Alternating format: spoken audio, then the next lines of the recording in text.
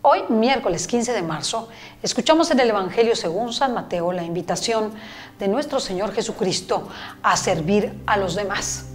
Toda comunidad requiere de servicio, entrega y renuncia. No esperemos que ni dentro de la familia, ni en el trabajo, ni en nuestro propio apostolado, todo nos llegue fácilmente.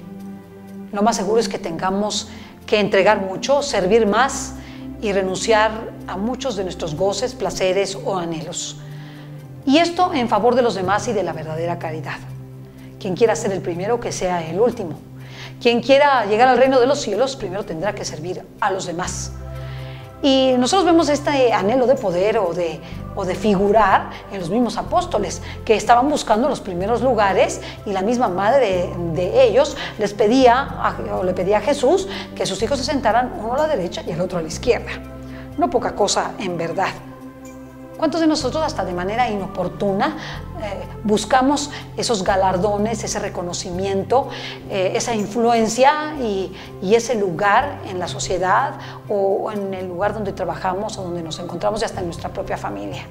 Y no nos damos cuenta que el verdadero lugar está en el servicio. La verdadera felicidad está en la entrega y en la renuncia en favor de los demás. Primero Dios, luego los demás y luego yo. De esta forma empezaré a vivir la santidad. ¿Quieres en esta cuaresma vivir la santidad? Preocúpate de servir a los demás y renunciar a tus propios caprichos. Esta es la invitación que nos hace Jesucristo. Y te digo una cosa, es la más segura para crecer espiritualmente. Si no sabes por dónde empezar, yo te doy un consejo.